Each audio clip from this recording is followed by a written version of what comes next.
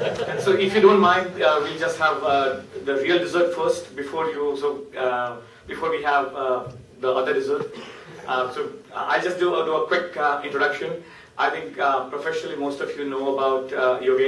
Uh, Yogen uh, is a IIT Bombay class of uh, 72 EE H7. Any H7 guys out there? Uh, what you might know is uh, that he's a very successful uh, Silicon Valley uh, executive, uh, has a, had a uh, distinguished career as an uh, entrepreneur and then as a venture capitalist. What you might not know very well is that he is an engineer's engineer in the sense his name is on a whole bunch of original TCP/IP um, standards specification documents. Um, so he was a, uh, very much of a techie when he did his PhD at Stanford. Uh, for his distinguished career, IIT Bombay has uh, conferred the Distinguished Alumni status on him.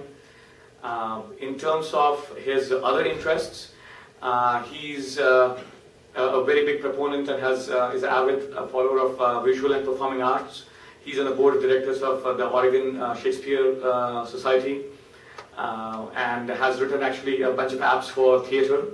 Uh, he has very fond memories of his IIT days, uh, walking from H7 in uh, flip-flops in the rain uh, to the main building, uh, and uh, carrying the T-square and eating mendu at RK, if you guys still remember. Without any further ado, I'd like to introduce uh, Yogi.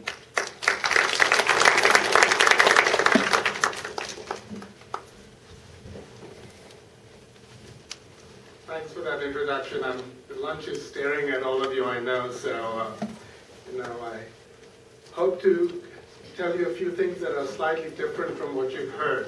Uh, but I want to start off by saying that I'm delighted to see so many unfamiliar faces in the audience.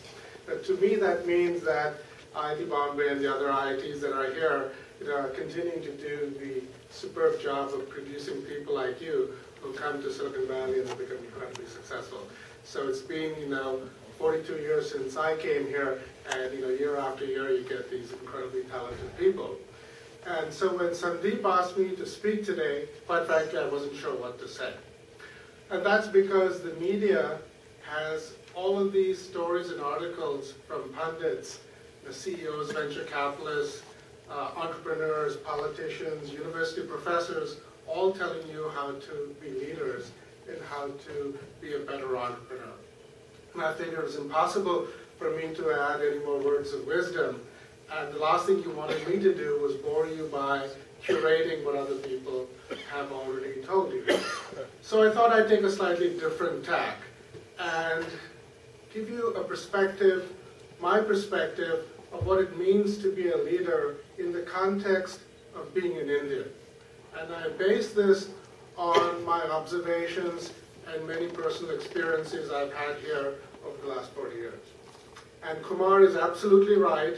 Where's Kumar? My, there he is. That I've lived my venture capital career using that particular criteria. And that is, is a particular product or business a painkiller or a vitamin because it really clearly, you know, focuses the issue. So um, when I think of leadership, I don't think of it as somebody being a leader. Leadership is a system. That is, a leader has to lead somebody. So it's the leader and the led. Without having a system, you can't really perform the function of being a leader. And the interaction between the leader and the led is a very complex one with a lot of dynamic tension and something that great leaders learn how to deal with. And what I wanted to tell you a little bit about is my perspective of what does this entail. No prescription, just a perspective.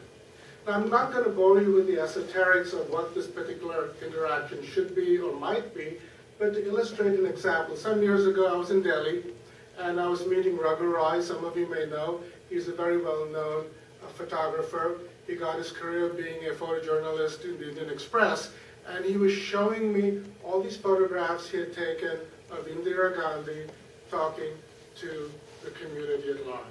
And as you know, photographers have a photographer's eye. They capture the essence. And when I looked at these photographs, I was absolutely amazed at seeing on a printed piece of paper the kind of interdependency a leader and the led has. You could see it in Indira Gandhi's eyes, and you could see it in the eyes and the body language of the people she was talking about. So politicians are incredibly astute as to the leader and the led dynamic. Unfortunately, as you know, it doesn't always work out well, and politicians have a way of using this relationship to their advantage, and that's what leads to things like the Arab Spring. But great leaders know how to take this particular dynamic and, uh, and use it in order to do great things. So what I want to do now is return back to the Bay Area and uh, sort of go back in time 42 years ago when I came here in 1972. The Bay Area, or Silicon Valley as we talk about it, was a very, very different place. When I was at Stanford, there might have been 20, 25 people from India and Pakistan who were graduate students there. Clearly, we all knew each other, we uh, collaborated, but for the most part, we were on our individual journey. We were on our journey of doing what we wanted to do and figuring it out as to what it took to be successful as an immigrant in this country. And now, of course, so much has been written about why Silicon Valley owes its strength uh, to immigrants and people like all of you.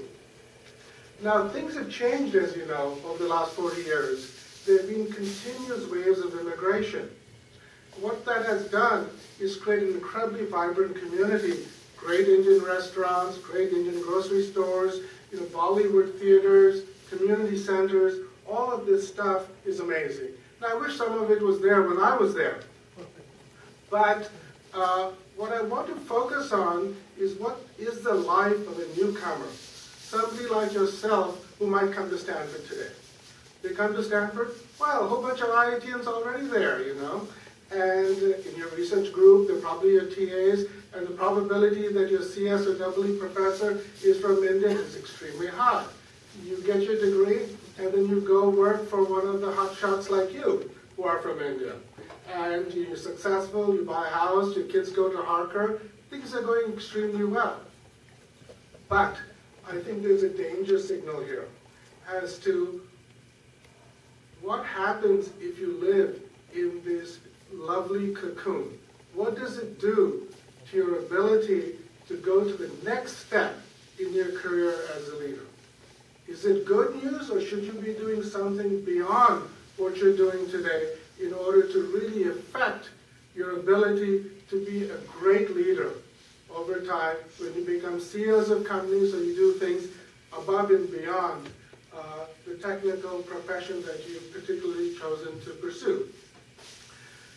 So from my point of view, going back to this notion that leadership is a system, you really have to understand who it is that you're leading. Not just people like yourselves, but people of a wide variety, people with different social, economic, political, and cultural backgrounds. You can't afford any longer as successful Indian entrepreneurs to live in isolation. You've got to broaden out the way you interact with the community at large if you truly want to become a leader. So where is all this going? You know, what is it that I'm trying to sort of hope to leave with you today as you go for lunch and have a continuation of this discussion? I think it's important for all of you here to understand that there's something great about Western civilization, this country, that has made it possible for people like me and for people like you to be successful. What is the ethos that drives this kind of cultural change, whether it comes you know, from the inherent Western civilization or augmented by the effect of the Pacific. You really have to think about these larger and broader issues.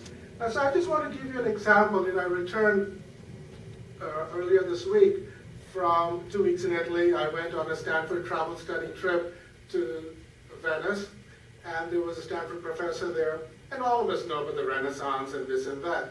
But to me, what is truly amazing spending a week in Venice was understanding that the Venetians in the 11th and 12th century have had greater impact on Western civilization than all the stuff that we talk about in Silicon Valley. They were the true entrepreneurs who helped define what we think of today as education, universities, government, art, and the manner in which you do business. The merchants of Venice were the entrepreneurs of their day. They basically created the concept of a city-state and broke away from the church, much as you're beginning to see large corporations today defining the economic and the social trends. You know, a company like Google or Facebook is no different than the Medicis or some of the people in the Venetian empires who basically created you know, what we have today. So you really have to think about this in, in the broad sense, and I encourage you all to break out of this beautiful, lovely cocoon that you're living in and think broadly. Now I'm going to, in the traditional interactive sense, ask you a couple of questions that's going to